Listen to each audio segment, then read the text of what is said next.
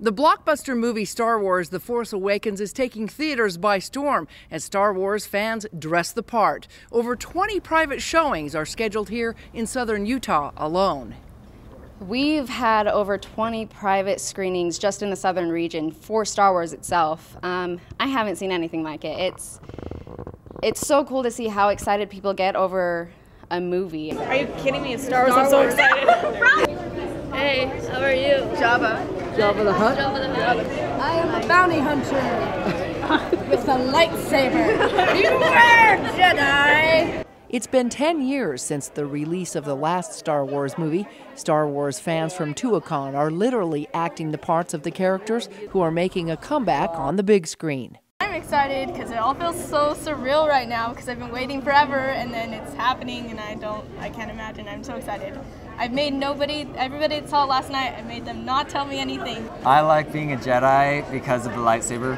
Like, it's really awesome. I love it and I can't wait until they come out with the technology to actually use it.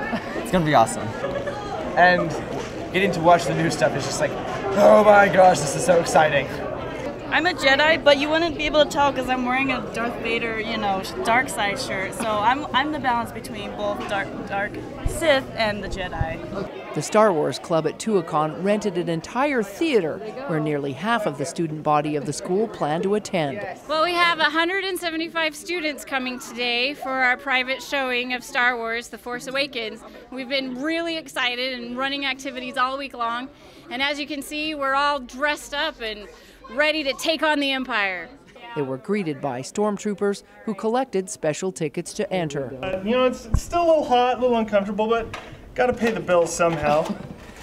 Prior to the showing, Star Wars fans battled it out with lightsabers in the hallway. Once inside, the excitement began building as fans waited. do or do not. There is no try. Ooh, yeah!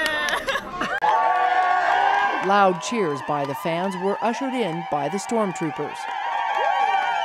It's just a movie, but it's such a cool experience because you feel like you're inside the movie, you know, just playing along the part with them. It's pretty cool. The Star Wars movie is expected to maintain a solid crowd this Christmas and should be in most theaters over a month.